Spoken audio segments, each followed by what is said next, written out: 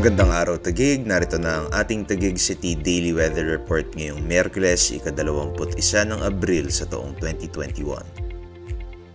Kasalukuyang naapektuhan ang northeastern Luzon ng Typhoon Bising habang tinatahak nito ang north-northwestern track sa loob ng Philippine Area of Responsibility. Inaasahang bahagya lamang ang epekto ng bagyo sa ating lungsod.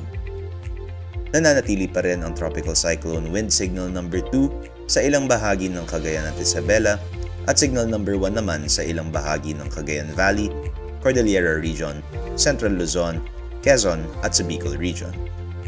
Huli itong namataan kaninang alas 4 ng madaling araw sa layong 395 kilometers east of Tuguegarao, Cagayan. May taglay itong lakas ng hangin na aabot sa 175 km per hour malapit sa gitna at pagbugsong aabot naman sa 215 km per hour. Sa kasalukuyan, dahan-dahan itong kumikilos pahilaga-hilagang kanluran sa bilis na 15 km per hour. Samantala, makakaranas tayo ng bahagyang maulap hanggang sa maulap na kalangitan na may mababang tsansa ng mga mahihinang pag-ulan ngayong araw sa lungsod ng Taguig. Dahil pa rin yan sa localized thunderstorms o mga pulupulong pag-ulan na posibleng may kasamang pagkidlat at pagkulog lalo na sa dakong hapon o gabi. Ang magiging agwat ng temperatura ay maglalaro sa 27 hanggang sa 33 degrees Celsius.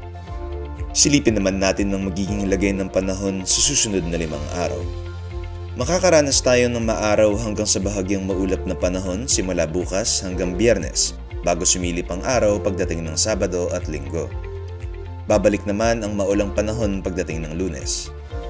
Ang magiging agwat ng temperatura sa susunod na limang araw ay maglalaro sa 26 hanggang sa 35 degrees Celsius. Ayan po ang latest sa lagay ng panahon para sa araw na ito.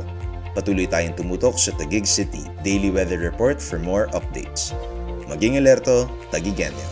Ako po si Phil Gershano. Maraming salamat at mag-ingat po tayong lahat.